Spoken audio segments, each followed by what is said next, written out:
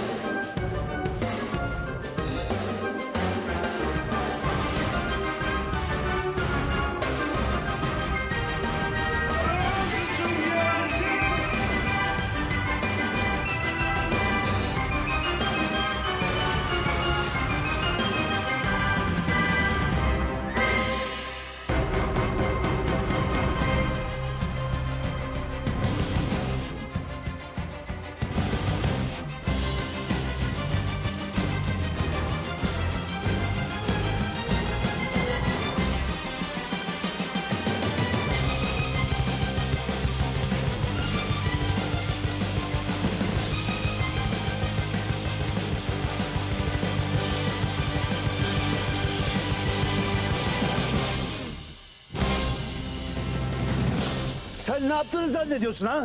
Ne yaptığını zannediyorsun sen pis sapık? Kelimlerinizi düzgün seçin. Diyelim düzgün seçmiyorum.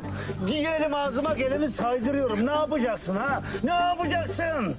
Dur şimdi polisi arıyorum. Anne polisi dur. Ya. Kızım gelsinler alsınlar bunu sapıkların eline kaldık ya. Hala sapık diyor. E canım kim olduğumu açıklasanıza. Senin adın nereden biliyor bu? Bir dakika bir anlatayım. Baba bu beyefendi. Bizim başkanın oğlu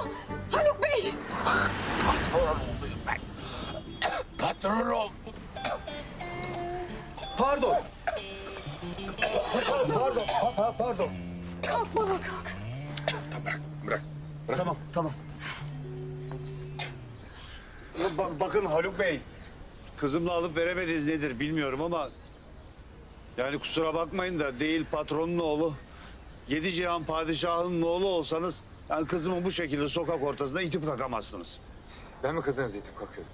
Kızınız bana karşı şiddet uyguluyordu. Ben kendimi savundum sadece. Siz de o zaman evimin önüne gelip öyle saçma sapan tekliflerde bulunmasaydınız tepemin tasını attırdınız işte. Bir dakika bir dakika ne teklifiymiş o bakayım?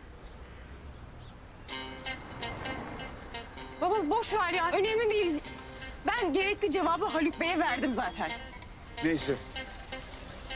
Olan oldu bir kere ama mesele anlaşıldı. Her şey tatlıya bağlandı herhalde değil mi? Yani ayrıca size sapık falan dedim. Onun için de ayrıca özür dilerim. Ama dükkanın oradan bakıldığında hakikaten öyle görünüyordu yani. Önemli değil. Ece kızım Allah kurtardı. Ya ters bir yerine vursaydım ya da o bana bir şey yapsaydı iri yarı maşallah. Ay baba vallahi Allah korudu bizi ya.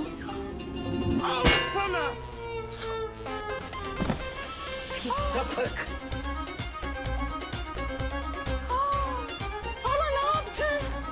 Balkonda çiçekleri suluyordum.